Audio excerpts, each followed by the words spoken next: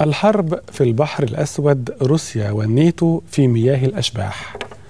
البحر الأسود حضراتكم هو بحر كبير نسبيا ومتصل ببحر متوسط عبر مضيق البوسفور ثم بحر إيجا ثم البحر المتوسط وشمالا متصل ببحر أزوف وبعد كده مضيق كرتش لغاية ما تخش البحر الأسود. هو بحر صعب التكوين دول كتيرة جدا مطلة عليه البعض بيقول إن اسم البحر الأسود لأسباب كتيرة منها إن هو فعلا كان بحر أسود على كتير من السفن والمراكب وفي قصص كتيرة عن أشباح وما إلى ذلك في قاع البحر الأسود. خريطه البحر الأسود بقى محطة استراتيجية صعبة جدا للصراع بين القوتين العظميين أمريكا وروسيا.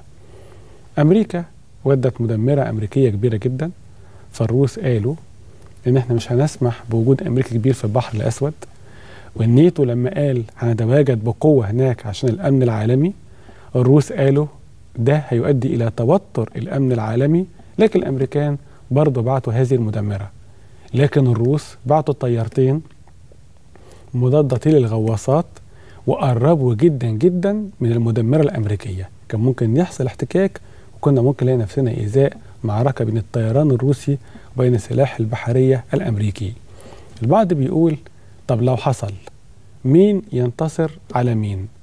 في شخص واحد اتكلم اللي هو قائد خفر السواحل في الأسطول الروسي في البحر الأسود وقال لو ده حصل هنكوم السفن الأمريكية في دقائق وإن أقصى مدة قدام أي سفينة حربية أمريكية من 3 إلى 5 دقائق وتبقى حطام في قاع البحر الأسود تصارع الأشباح. وبالتالي بدأ يبقى الكلام خشن من هنا وخشن من هنا على ما يمكن أن يجري في البحر الأسود. هو بحر صعب زي ما قلت لحضراتكم يعني على الخريطة بشكل هندسي وليس بشكل جغرافي. بتلاقي كده من الشمال للجنوب تلاقي هنا بحر أزوف. بعدين تمشي بقى من بحر أزوف كده فتلاقي مضيق مضيق كرتش.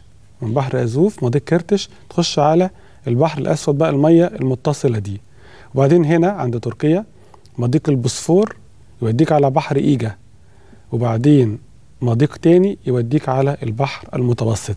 فهو ماشي بهذه الطريقة البحر الأسود من المضيق إلى البحر إلى كده لغاية ما وصل للبحر المتوسط. على جوانب هذا البحر اللي هو بيبدو أكتر بهذا الشكل البطاطساية كبيرة الشكل بهذا الشكل تقريبا. هتلاقي هنا بحر أزوف اللي إحنا قلنا عليه وبعدين ده البحر الأسود.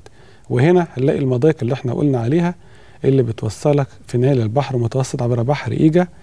كل بقى الدول المطلة والمواني المطلة على البحر الأسود كلها خطيرة وكلها مساحة صعبة. فالأمريكان جم بالمدمرة كده دخلوا هنا فالروس وصلوا بالطيران علشان يتحرشوا أو يضايقوا المدمرة الأمريكية اللي موجودة في هذا المكان.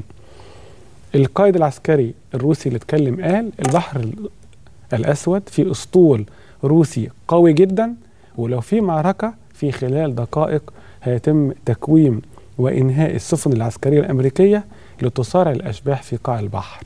لكن الأمريكان بالمقابل بيقولوا إن ما يقدرش الروس يعملوا هذا الكلام وإن أمريكا تستمر متواجدة في البحر الأسود لأن ده مهم جدا لحفظ الأمن العالمي. إذا البحر الأسود منطقة مرشحة لخلل استراتيجي عالمي.